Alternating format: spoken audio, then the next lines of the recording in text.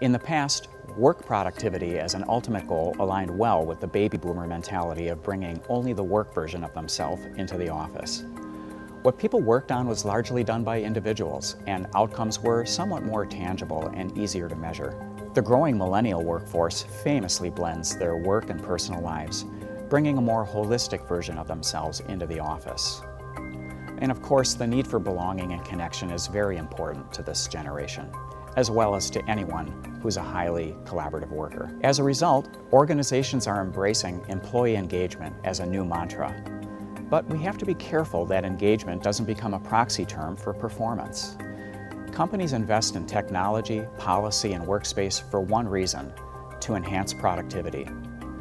Thus, the unspoken intent is that an engaged employee is more likely to stay, avoiding replacement costs, and may work harder, leading to greater performance.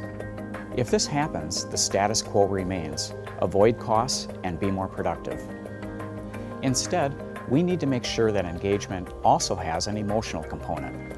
I propose that that component is happiness. Real happiness and a meaningful life is not a short-term emotion. It's an enduring state that can lead to productive, engaged, and healthy employees.